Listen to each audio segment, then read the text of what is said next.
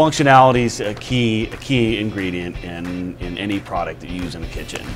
And cheese is, is definitely a key ingredient that has that. And the processed loaf has different functions. That's what you need to understand. There's four uh, key functions that processed cheese serves. There's saucing, topical melt, slice, and shred. Topical melt Melt on top of dishes like enchiladas, baked potatoes, pasta dishes, and vegetables, or use as a filling for Mexican dishes, grilled cheese, or cheese-filled pastas. Sauce. Into a delicious dip or sauce for nachos, mac and cheese, cheesy pasta primavera, spinach dip, cheesy soup, or appetizers. Shred.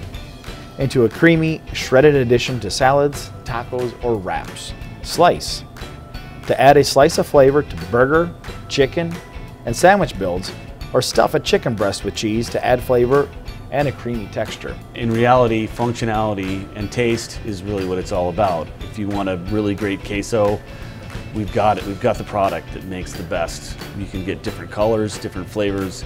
It's really all, all about functionality and flavor and what, what the customer's gonna like the best. Knowing what function you want the cheese to perform is key.